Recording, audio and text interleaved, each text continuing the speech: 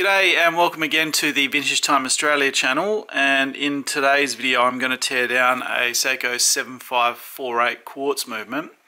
And we're going to see why these little movements are actually so cool.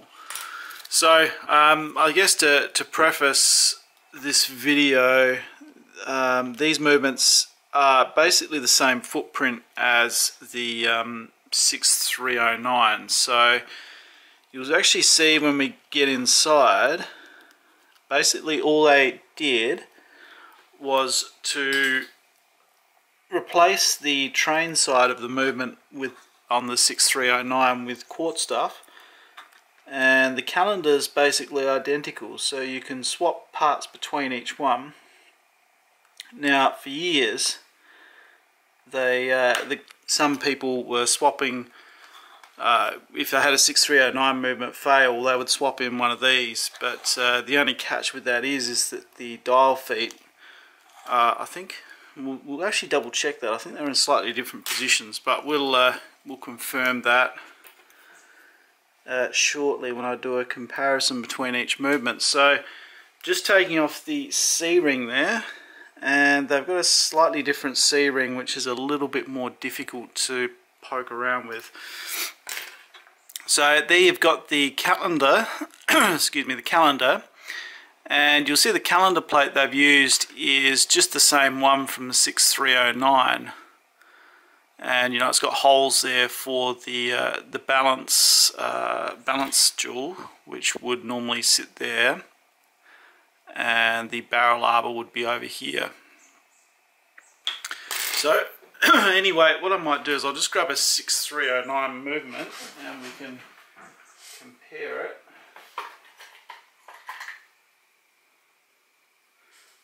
There we go. So if we just look at the calendar side there, you can actually see the similarities and I'll just zoom this uh, out actually. So you can see there calendar wheel in the same place. Um, basically identical in every way and all those parts swap over which is a really cool thing about these as well. So they're actually quite clever when they design this because they reduce the amount of parts that they need to develop for the new movement and also the amount of parts that they um, sort of had floating around in uh, warehouses and stuff like that. So that really is was, in my opinion, a, a stroke of genius when designing this movement.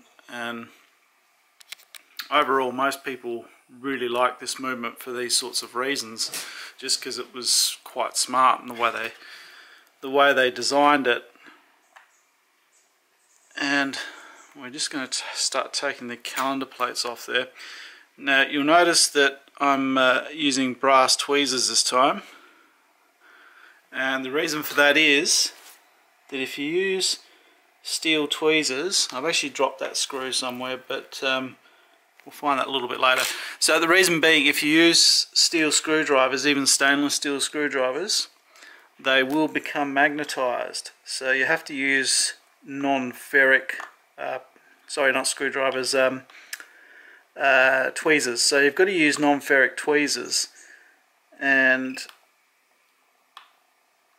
that is the way to go with these because you just need to touch one part and your tweezers are magnetized. So I've got uh, titanium and brass tweezers although I have no idea where I put my titanium tweezers. So I'm going to use the brass ones today. And we'll just get that plate off. So no real surprises there except normally we'd see uh, the uh, the bottom balance jewel and some other stuff there. And there's that screw. So just I think. It's in there somewhere. But um, anyway the um, what was I saying? Yeah so as I was saying, they're they're basically identical. Um, there with the 6309. So all of those parts will swap over, the setting lever will swap over, all those bits will swap over, all of that will as well, literally everything. So that really is fantastic. And we'll just um, take the click away there. Um, yeah, so I, I, can't actually see what I'm doing really that well at the moment, so if I'm fumbling a bit, that will be why. And this just is not working for me. I'm just going to put my glasses on, just one sec.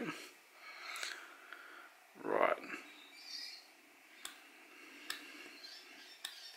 Um, I'm really having difficulty getting that click off for some reason. Normally these just come straight off, but what we'll do is we'll just get the edge of a screwdriver under it.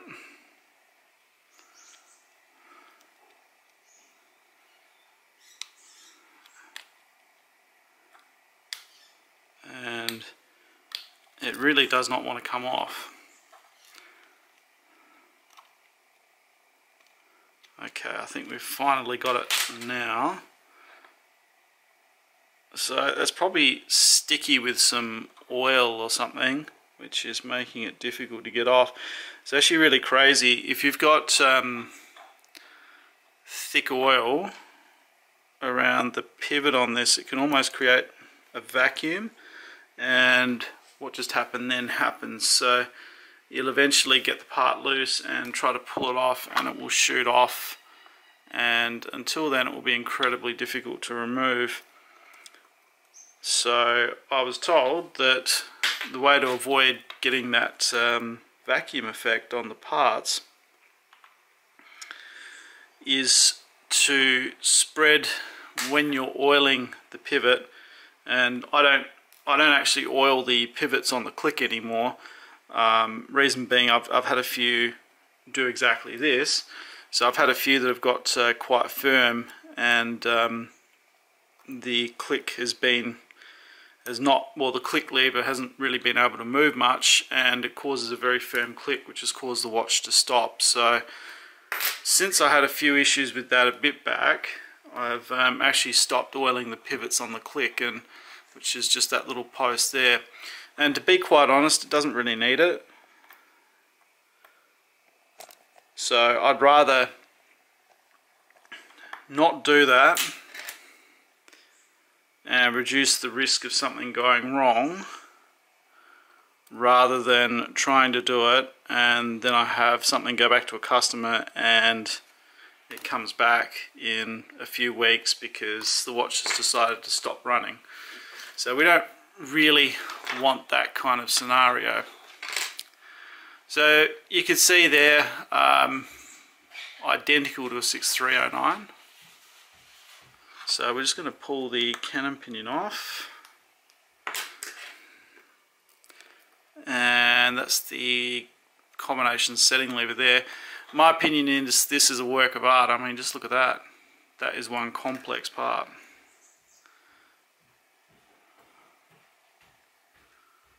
If you have a look on the side there, you can see it's made up from several pieces. And um,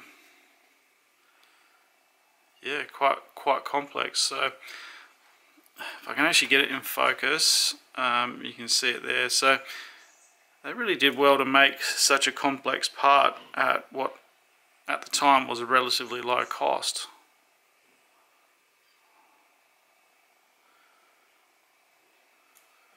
So if you compare that with uh, some of the Swiss movements of the time, uh, it's a much more elegant solution to the problem of uh, quickset uh, day date, that's for sure. So we've just about stripped everything off of here. Um, got a few bits left. The uh, brass tweezers are a little bit more, a little bit difficult to work with, so it's not something I like using uh, constantly. It's sometimes hard to gauge the feeling that you have uh, picking up parts with the brass tweezers just because they're so much more flexible than the stainless steel tweezers. So sometimes um, you can uh, use the stainless steel tweezers and then just demagnetize them uh, a few times while doing the disassembly. The uh, problem that I have doing that right now is that my demagnetizer actually blew up. So it caught fire and um, it, uh, yeah, it, was just not good. I could, couldn't recover it. Um, it was all melted and didn't smell very good at all. Um, the problem with that is is that the, I can't buy, buy them locally. Uh, no one in Adelaide stocks them and they were low on stock interstate as well. Unfortunately, it's just one of those things that you sort of buy once every 10 years or something, so they just don't keep stock. Alright, so that's the calendar side all stripped now, and you can see the coil and a battery connection on the other end. Uh, and we've just got two more bits to get off there. Uh, again, they're exactly the same as the 6309. So I'm just going to flip it over now and we're going to go to, if it was a 6309, what would be the uh, train side. And you'll, this is where the majority of the differences come in. So I'm just uh, securing that in the movement holder now. Uh, there we go. So that is the train side of the movement. So there we have uh, a large battery strap, which is across there. You've got the uh, the uh, gear train there. Now that little plate there actually just says which movement it is. And you can see there, actually I can't read it myself, so it's 7548A. Now as far as I'm aware they never made a B variant, but I guess they thought that they might one day. Now that little plate you can actually just lever off if you want and change it with other plates but uh, we're not going to bother doing any of that. So if we compare that now with the 6309 train or side and just bear in mind that this is a terrible movement it's been full of seawater. Oh excuse me I'm just hiccuping. Um, so yeah it's been uh, full of seawater and we're just going to totally line it up where the stuff is respectively. So basically where the barrel was on the 6309 that's where they put the battery.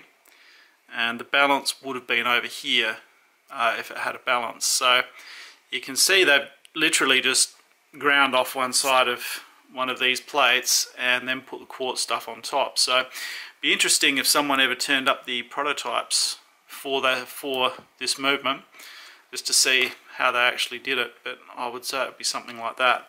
Now while we have got this here I'm just going to experiment with dropping the dial on just to see if the feet line up in the right place. I can't remember which one it is whether it's these this one or the um,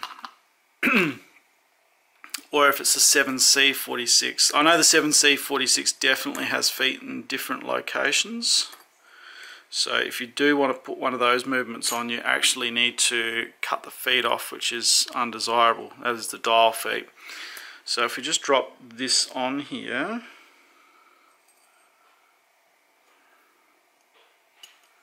um, I've gone off, sorry, just gone off camera there a bit. So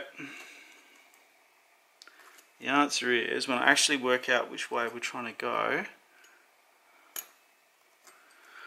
there we go. So it actually is just a total swap for that.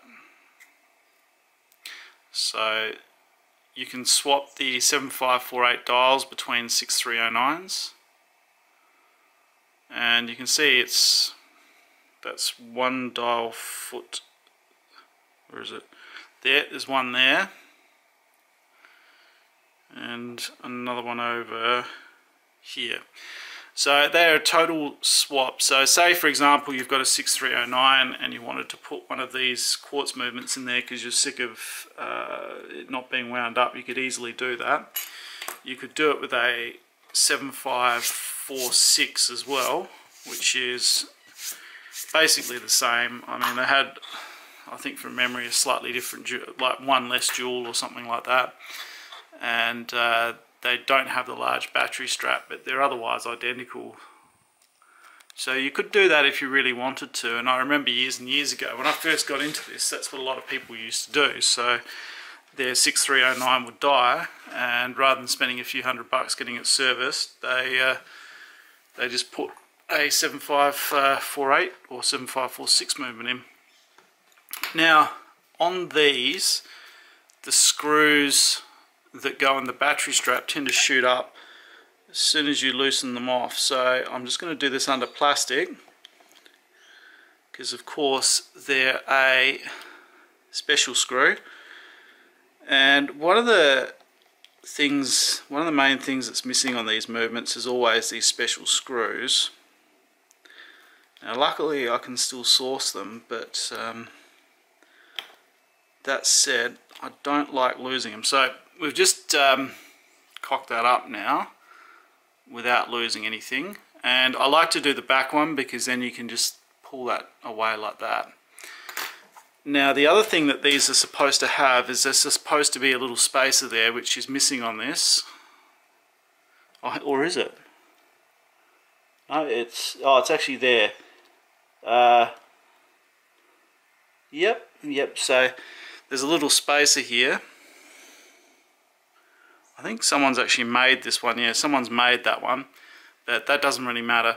So there's a little spacer there, and what that does is that um, that just helps to reduce the amount of uh, shooting that the strap does um, when you undo that screw. And the way it does that is because it sits a bit higher, it's got less preload on it.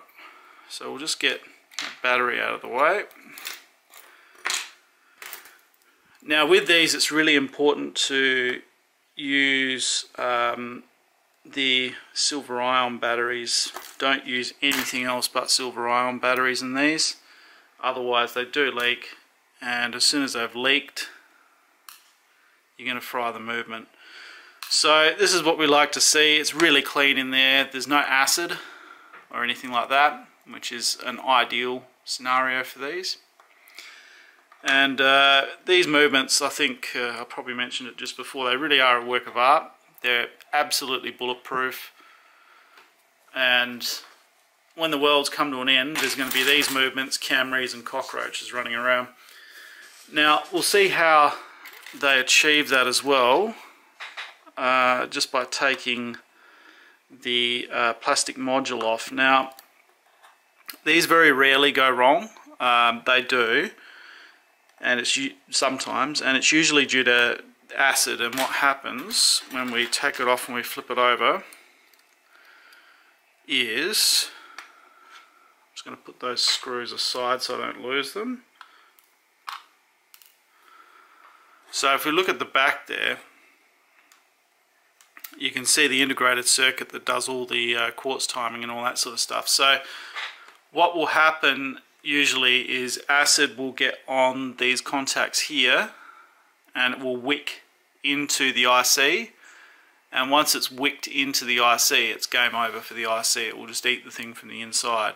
So that's why it's important to use good batteries. Um, I recommend Panasonic the Seiko branded batteries uh, Zyken which is another Seiko sub brand uh, Maxell are good as well uh, I don't like Evereadys, they leak. Uh, don't like Varta, they leak. And any no-name battery that you buy from a, a, dollar store or anything, just don't even think about putting it in here. You will kill the watch. So we can see all the um, bits and pieces on there. So the circuit's actually just made by bits of brass that are plastic welded onto the module, which is a very durable uh, way of doing it. It, it truly is genius. Up here you'll see the trimmer. So with the trimmer you can actually change the uh, daily uh, gain or loss rate on the movement. And right there you'll see the oscillator. So the oscillator is uh, inside that uh, aluminium can. There's a little uh, uh, crystal tuning fork which generates the oscillations. That guy there divides the oscillations. There's an algorithm you can look up on the internet. I'm not going to go into it right now. and then it says uh, it works out how to send uh, a pulse a voltage through the coil which is there And when that coil gets a voltage, it moves a little rotor in here, which is just in there, and that's what causes it to tick once a second. So that really is the, uh, the idiot explanation as to how it works. So we've nearly stripped this movement down now. I'm just going to take the coil off now. Now usually when these are damaged it's a coil issue and that's because someone has taken or replaced the battery they've slipped with the screwdriver. And you'll see here now this is the only bad thing about this movement. So they've undone that screw there they've slipped with the screwdriver and gone straight across the coil and scratched it and it uh, rips one of the uh, copper wires off and it's game over for the coil now sometimes you can fix them just by um, putting a blob of solder over the break. Um, that works about 75% of the time. If it's really bad, then even the solder won't save it and you'll have to get another coil. So that's what we've got left. So there's like a fingerprint or something on the bottom. I don't know what that is, we'll get that washed off. And this thing here, which we'll see in a sec, that is actually the uh, hacking lever. So if we just grab the stem, actually I haven't got the stem here right now. Oh no, I've got part of it. Um, there we go. So if we just stick that in, you'll see how the hacking lever works. So, so if we push that in, so that's in this state the stem would be, uh, well the whole crown would be screwed down and you have no stopping from the hacking lever. Then you pull the crown to setting position and the hacking lever stops the movement from running. So it's a very simple system of hacking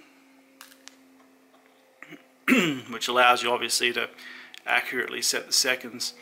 So now we're just going to pull the top train plate off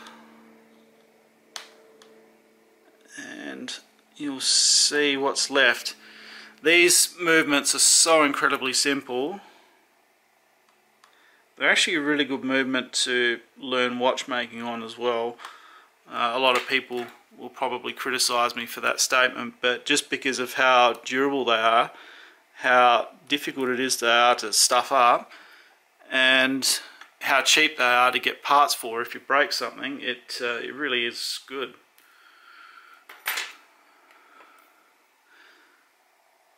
and there's like hardly any screws as well which is another good thing uh, especially when you're trying to film a video and you're dropping screws everywhere. So I'm just that's the other screw there. So I'm just going to get that plate off now now these can be a little bit sticky sometimes. And I'm just trying to do this in a way that the fourth wheel stays down. So we now have removed that plate and you'll see the gear train. And the gear train is basically the same as another mechanical watch. So you've got your that's basically uh, yeah that's basically if you if you to translate it into mechanical watch terms there's your balance. That's actually the rotor. You've got an escape wheel you've got a fourth wheel and a third wheel. So incredibly simple. And you can see why my statement about these being a good watch to mess around learning watchmaking for a, someone who just wants to do it casually uh, is a good suggestion. Now this thing here, that's the hacking, you can see the hacking lever there. That's it there. So this is just a little bit fiddly. I might actually just take the rotor out first. So that is a tiny magnet attached to a gear. and when the uh, when the coil gets a pulse that's what it moves so um, oops now we're just trying to get that uh, third wheel off. Okay that's right. You have to pull this off first. So just this little uh, nylon hacking arm. I'm just going to take that off. Okay. And then we can take off that third wheel. Then you've just got a, all you've really got left is you've got the stator, which is that part there. And the center wheel bridge.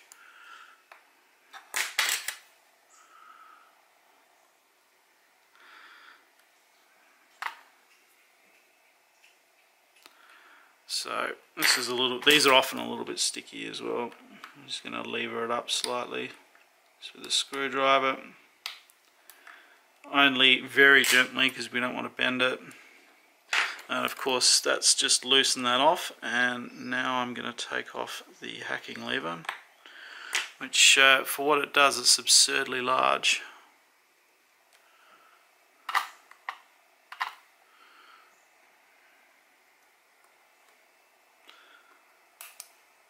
And that's it there.